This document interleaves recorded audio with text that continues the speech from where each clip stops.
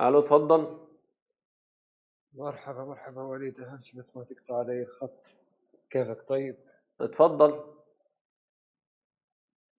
أنا بس عندي سؤال مش حضرتك اتفضلوا يا. جماعة احكوا لنا قصة الضرب. احكوا لنا قصة الضرب. لماذا الضرب وما هي النتائج؟ ما الأسباب وما النتائج.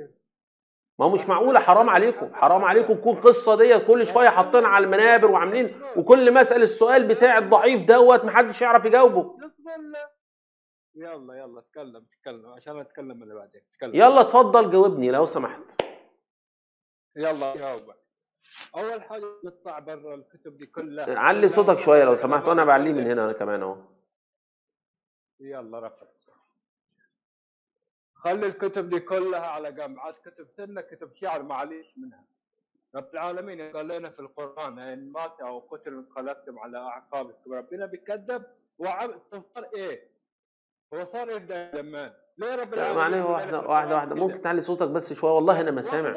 علي صوتك أتكلم علي صوتك شوية. اتكلم بعدين عقب علي. خليني أتكلم بعدين عقب علي أوكي؟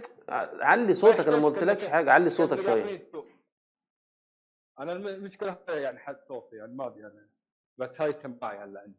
المهم خلينا نتكلم. لا إله إلا الله محمد رسول الله. اللهم صل على محمد.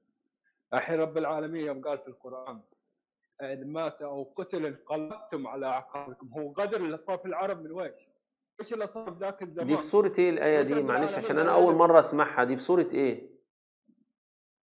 والله الآية ما صلحها لك. أنت تصلح في سورة إيه؟ لأن أنت أصلا لخبطت جبت اليمين في الشمال والشمال في اليمين واخترعت آية من عندك. في سورة إيه؟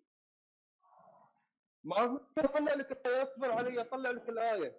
طلع الآية. طب لو سمحت اقرأها لنا كويس يلا.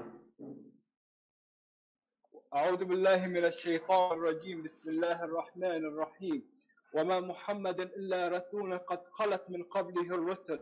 أفإن مات أو قتل انقلبتم على أعقابكم ومن ينقلب على عقبيه فلن يضر الله شيئا والحمد لله أنه ما في شيء بيضر الله بس خلاص الحمد لله رب العالمين الحمد لله رب العالمين. الحمد لله رب العالمين مع إن أصلا أنت الحمد بالتشكيل. غلط بس اسمعني بس اسمعني ممكن حضرتك تتفضل ممكن حضرتك تتفضل وتجيب لي أين نزلت هذه الآية وما معنى الآية من كتب حضرتك من تفاسير حضرتك.